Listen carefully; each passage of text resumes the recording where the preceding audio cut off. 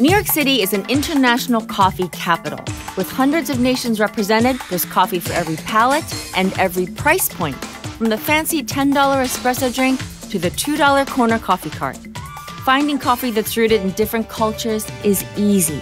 Anywhere you go, you can find coffee that's rooted in a different culture. Get on public transportation and go to any country. If I want to try, say, a Malaysian style cold coffee, I can go to Queens or I can go to Chinatown. If I want to try Colombian style coffee or South American, just go to that borough, go to that neighborhood. The cultural richness that we have from people from all over the world that come and live here and work here, and the coffee traditions that they have, it's all there. Pour yourself another cup and get comfy. It's all things coffee on this special episode of Native Dish. New York's coffee selections can be overwhelming. You might feel intimidated when you order your first cup of, say, Singaporean kopi. What to do? Ask questions, try different flavors, and get friendly with your barista. A barista will take the time to for to educate you if you want it. I like to watch what they're making, and the more you try anything, of course, it just becomes less scary and much more familiar. But in ancient times, baristas, as we know them today, didn't wear aprons or stand behind counters. Back then, they presided over coffee gatherings in traditional clothes and would brew without electricity or modern tools. The way coffee is harvested hasn't changed much either. To get the scoop on how a bean becomes a brew, I set off to learn more about the motherland of coffee, Ethiopia. This is where the coffee plant originated in the 9th century in the then region of Kaffa, which is today's Ethiopia. Buna is the Ethiopian word for coffee, and it's also the name of a restaurant in Bushwick, Brooklyn, where owner Liu Ayelu keeps the traditional method of coffee brewing alive. Liu hails from Addis Ababa, Ethiopia's capital and largest city. He used to give guided tours of his home city and its coffee plantations. With the help of friends and business partners, Bunna Cafe has become an extension of his desire to teach New Yorkers about his culture. I got on the eastbound L train to Morgan Avenue to meet up with Liu and to learn more about his native land's traditional coffee ceremony. The art of coffee in Ethiopia is a core cultural custom, isn't it? It's almost sacred. I have such a strong memory mm. of like the coffee culture in Ethiopia. My mother would come from work and then set up her coffee ceremony. It's a spiritual practice. They go in groups as friends. When you say, let's have coffee, it means like, let's catch up. Yes, eh, and share. Yeah, share. And, and it's and... the same in the family. Growing up, especially as a young boy, you will be sent to the neighbors to invite the neighbors for the coffee ceremony. Coffee, the way it's enjoyed, is typically black with some sugar, maybe some spices. Is that Different right? Different ways. Actually, the older people drink with salt. Ah, because yeah. salt does tone down any bitterness in yeah. coffee. Yeah. So it's actually more palatable. Yeah. Traditionally, people drink their coffee with butter. Ethiopian households drink coffee all day long, usually in three rounds. Once the first brew is consumed, more hot water is added to enjoy another round. And each round has its own name. Look at this beautiful table. We have all of our utensils for the coffee ceremony. This is the jebena. This is what we use to brew the coffee. Mm -hmm. The basic method for making traditional Ethiopian coffee is simple. Wash raw green coffee beans with water at least three times. So it's kind of rubbing yeah, to get the rubbing. sediment, any yeah. sand, dirt. The skin from the coffee bean also. This is very comparable to in Korean when, when I used to cook rice, like that would be my chore growing up. Yeah. Then dry roast them in a pan over heat until they darken in color. You get a good bicep workout doing this. Mm -hmm. Now all these sparks are flying. Is that normal? Yeah, those the sparks are coming from the the dry leaf that's flying off. If you went to anyone's home and someone's doing this for you, just the effort alone is, is such a, a gesture of thought and caring. Oh, wow, now I see some smoke coming out a little bit. You can smell it. It's like a smoky flavor. Oh, yeah. It's changing color a lot more. It's just gonna be the best tasting coffee ever because I put so much effort into it. Once it's ready, you let people smell. Oh. And people go like this. Try to smell it. It does. It smells fruity. Blueberry. Mmm. Mmm. That smells rich. Yeah. Then grind and boil or brew our coffee. Wow, it smells incredible. It smells very bright, almost sour notes. The elements that make this ritual unique is that there are no automatic coffee makers or buttons to press. Everything is done by hand with traditional vessels and cups. And while you smell the incense, you wait for the coffee to settle. I can smell it. I feel like I want to make three wishes. This is like an Aladdin moment. It's done, it's ready. He's ready. My first freshly ground and brewed salted Ethiopian coffee. And I did see that to pour it, you're about a foot high. But the reason why they put it up so high is Yeah. to show how it's like settled coffee. There's no like sediment of the grind that's coming with it. I'm a Seganalo. Ama ganalo Yes. is thank you. It tastes very roasty, and I don't really detect much bitterness because of the salt. I do like the flavor, and I feel like after a nice, delicious, beautiful Ethiopian meal, that this would be amazing. This is a beautiful ceremony, and I, I feel I feel loved. Thank you for coming.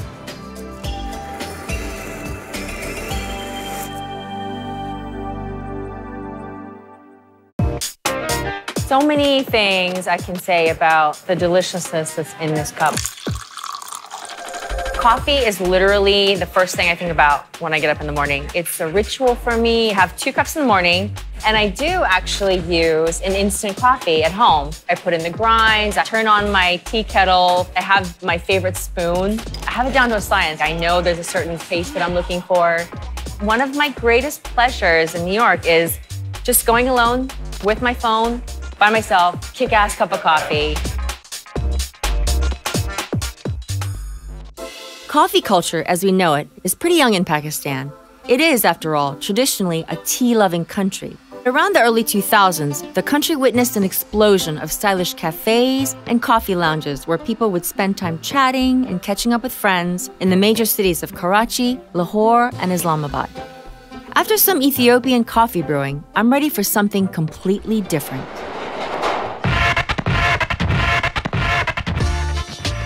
From Bushwick, I hopped on the subway back to Manhattan and took the 2 train to Riverdale in the Bronx, home of a Pakistani influenced coffee house where the vibe and menu is unique to the culture, to the sisters, and to the family that operates it. It's something that Sheza and Zubi, sisters and best friends who run the day to day, are keenly aware of and celebrate through their beautifully decorated cafe. Sheza and Zubi, this place is beautiful. It's so exquisite in here. I feel like I'm in a secret garden. Is the design of this place a nod to your cultural roots? Pakistan, we love floral patterns. We have an upside down garden. It does have a little bit of culture in it because I wanted my shop to be a reflection of myself. This was actually my school project. What? A cafe? Yeah, so I did my master's. This is fashion school. So everyone did a boutique, but I did a cafe. I never planned to be a business owner, but my plan, my thesis came out so well, I fell in love with the idea. So one day, we were just driving to the city, and then we saw space for lease. Mm. And then, as a joke, my dad goes, Sheza, you should open your coffee shop there. And I'm like, yeah, yeah, whatever. And then my mom goes, you know what, let's check it out. And so then, from kind of a joke, now we have this thriving coffee shop. In Pakistan, we say, if it's in your destiny, it's meant to be. Tell me about coffee culture there. the cafes, you would think you were in some five-star restaurant. It's amazing. And that's where I first saw like coffee shop that could be so beautiful that you would want to spend hours there. Your menu, the drinks, the recipes. There are some family recipes in there Yes, somewhere. they are. Especially the whipped coffee. in Pakistan, that's like a whole thing. So that's when I was like, let me do something which I can offer the community something different, you know, something unique. I stole my mother's recipe, so I can't take all the credit. She adds her spices, all the good stuff. So one day she made it for me. She goes, try this. My God, this is so good. This Pakistani style whipped coffee, it's a piti hui. I read. PTV coffee. I just say it's a Pakistani latte. With the latte, it's it's a milk base and like two shots of espresso. With the whipped coffee, it's two scoops of the whip and then milk. But with this, ours is different because we use our spices. Mm-hmm. Like ours is with the powdered coffee, which we get from Pakistan. The spices make it uniquely Pakistani. Exactly. I think that in every household that you go to, it's offered. And they actually whip it for like 45 minutes to an hour with their hand Oh getting my- With that a foam. fork, a cup, and Yeah. the authentic way. Sheza was game to show me how her whipped coffee is made, not by hand, but with an electric whisk. Let's make your Pakistani whipped coffee. Yes, of course. We start off with a couple of spoonfuls of instant Pakistani coffee. We're gonna do two big scoops. Right. Then add sugar, cardamom leaves, and cinnamon for more flavor. And green cardamom because that's a bit more aromatic and sweeter than Yes, the black, right? it. That gets ground up with a mortar and pestle. Then we discard the leaves so that we can add the cardamom seed and cinnamon mixture into a pitcher and shake it all up. And it does add so much flavor to mm-hmm. the whipped coffee. And you don't need a lot. A bit more water and it's time to mix. The color of the coffee will turn into a golden yellow and the consistency becomes velvety smooth. it looks silky and velvety. I want to drink it just like that. Now for the milk. Steam your milk of choice and be careful not to burn yourself. Wow! You can do this with your home coffee maker or gently heat up milk on your stovetop or microwave. When it's ready, add your whipped coffee concoction to the milk and stir it all together. Lastly, we top off the coffee with Sheza's spice mix, and our piti hui is ready. Now it's done. Thank You. It's delicious looking. Cheers. Cheers to you. Thank you. So the best part about this coffee is nice and light. It's not too strong. Mm-hmm. And then when you drink it, you could taste and smell the aroma and the sweet notes. You definitely can. And the mm. herbs, the spicing is just really unique. That's what sets this apart from other whipped coffee styles. No. My first memory of having coffee is I was at home and I remember having a sip of what my dad was drinking and I immediately didn't like it because it was bitter. He drank it plain and black. My dad liked coffee, but my mom really wouldn't let him drink it. Having a cup of whipped Pakistani coffee makes me think of my own roots in South Korea. There's a coffee that I make at home that's similar to that whipped coffee in preparation and in flavor.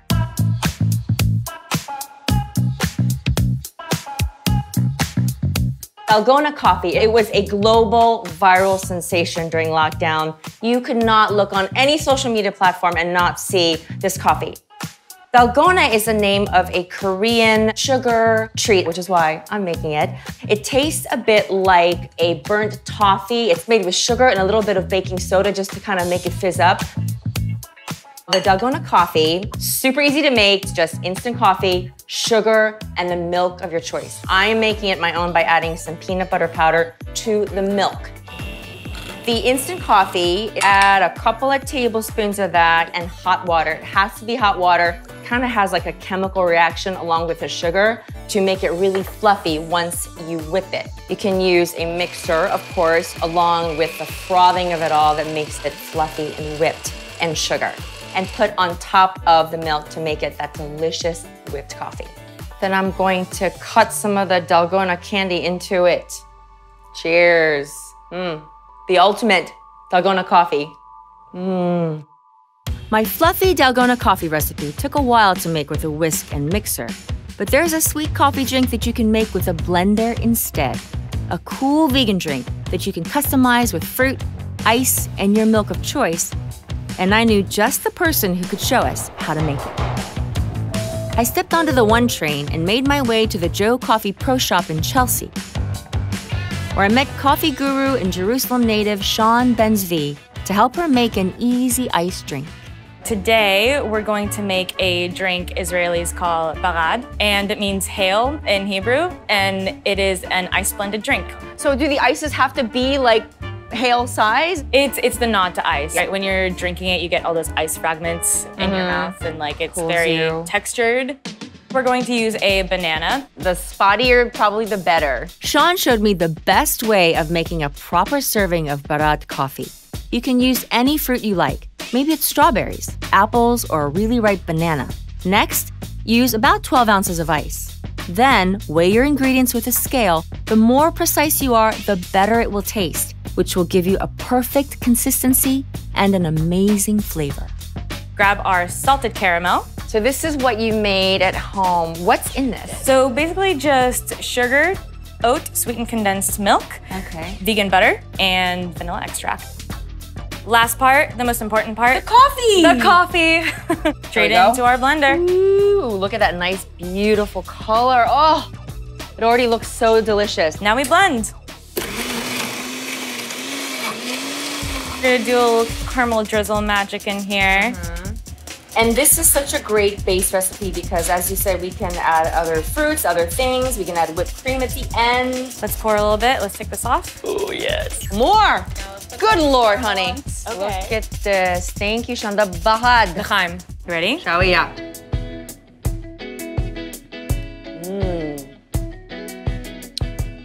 You know what? It's not too sweet at all. not that sweet. Fam, you're gonna want to make this. Oh my God, how fun. Caramel snot. When you think of Brazil, what comes to mind? Is it Carnival, the country's most festive holiday? Or maybe you can name the country's famous soccer players, like Pele or Ronaldo. Whether Brazil reminds you of samba dancing or caipirinhas on the beach, one thing's for sure Brazilians know their coffee. It's the world's largest coffee producer by far. Creamy Dalgona coffee and slushy Barad frappes are delicious and sweet, and so is my former roommate, Karinne Silva. Not only is she a fantastic cook, she's got a simple yet decadent recipe many Brazilians love a small confection with a coffee twist that packs a punch. Let's head uptown to Harlem.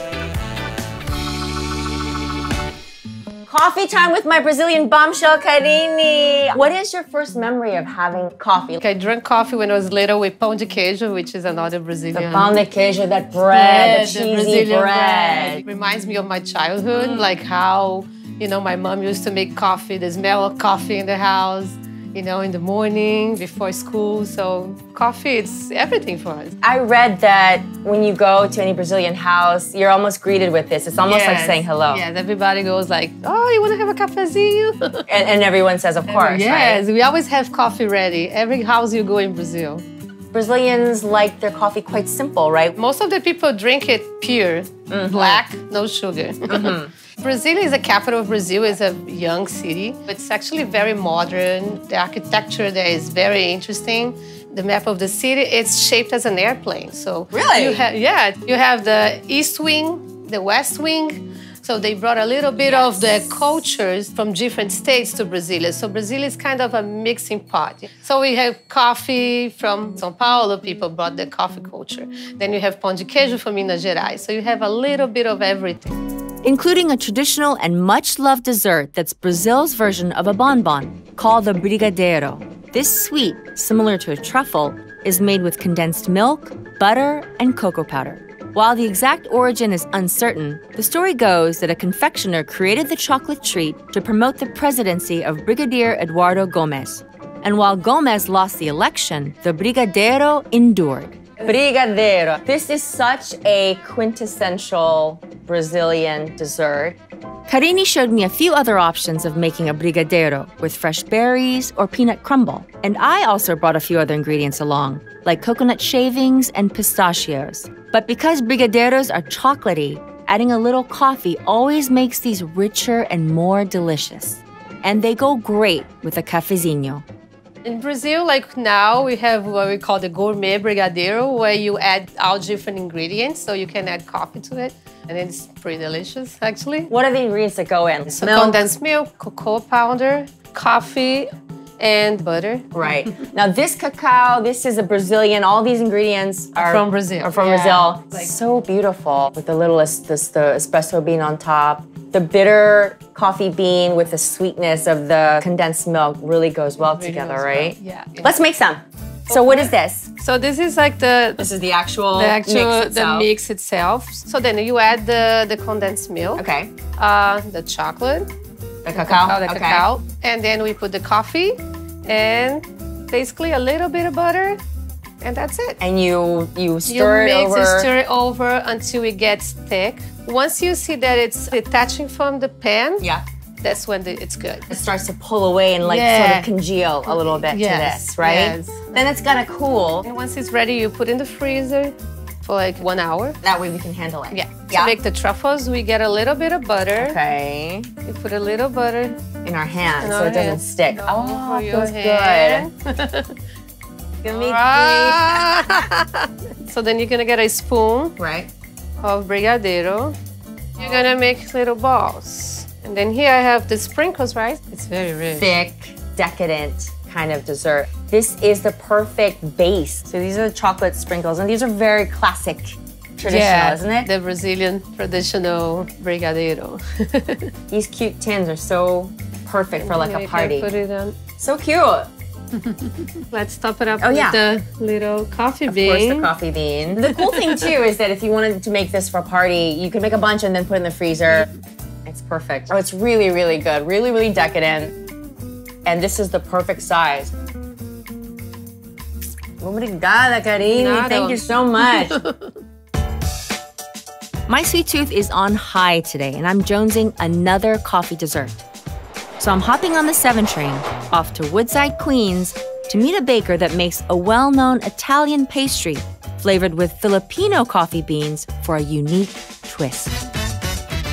Meet Mark. He's a former company man who became dissatisfied with his corporate job and decided to open his own bakery because he thought it would be fun.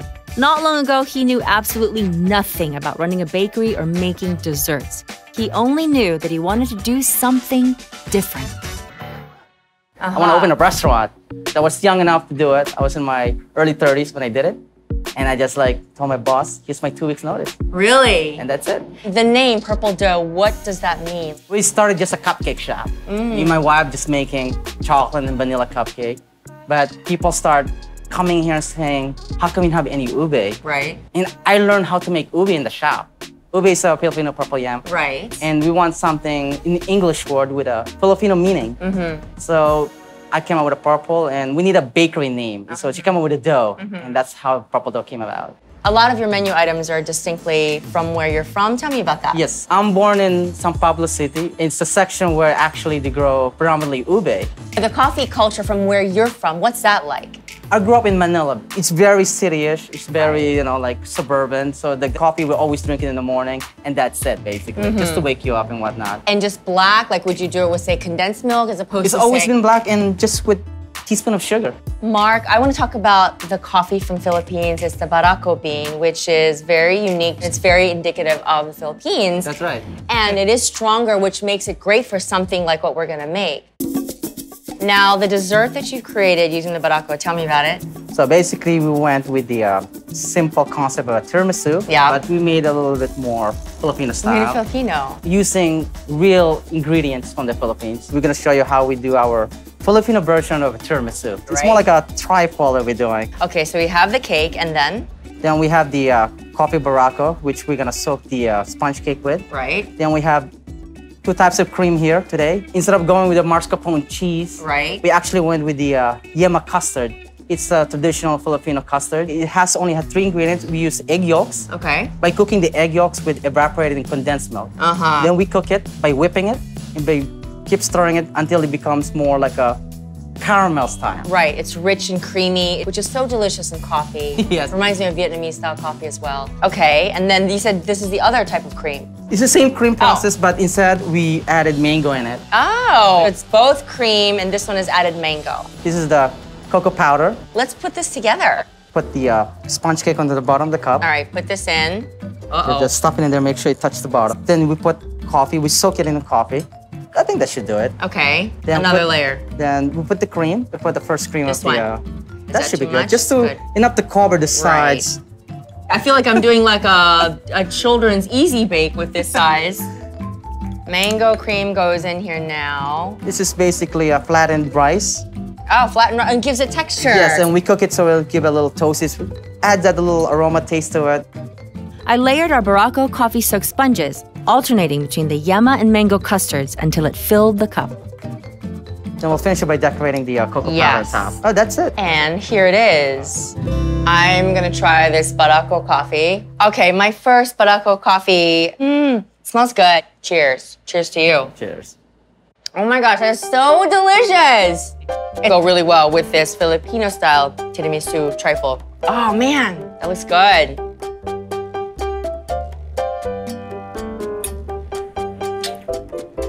Wow. The Yema cream is really luxurious and silky. I love it. Thank you, Mark, so much. Thank you. Mabuhay! I have often thought about if I were to ever open a cafe. I even took a barista course because I wanted to learn all of the different positions of what a cafe would entail. Of course, I'd work there. I love the marriage of like great, cool music with like delicious coffee. I'd bring all my friends there. In my romantic idea of what my cafe would be, it would just be like a cool place to hang out and just continue to add to the creativity that New York City has. My coffee journey around New York City has taken me to the hills of Addis Abeba, where I learned how to roast fresh Yirgacheffe beans in a pan and brew them in an ancient vessel called a jebena. It's also taken me to the colorful streets of Lahore, where I whipped up a sophisticated brew of piti hui. And then to Seoul, where I relished my own velvety version of Dalgona coffee. We stopped into Jerusalem for a cooling frappe with ice chunks the size of small hail. Then we dropped into Brasilia, where I enjoyed the decadent taste of cafezinho wrapped in a bite sized chocolate truffle. My final stop was in the Philippines by way of Woodside to enjoy a new take on an old dessert flavored with Barako coffee. The best part is, I didn't have to pack my bags or fight traffic to get to the airport. I got on a train and explored six different countries without leaving the five boroughs, and I even learned a little something about each culture. And with a little bit of curiosity and a sense of adventure, you can too.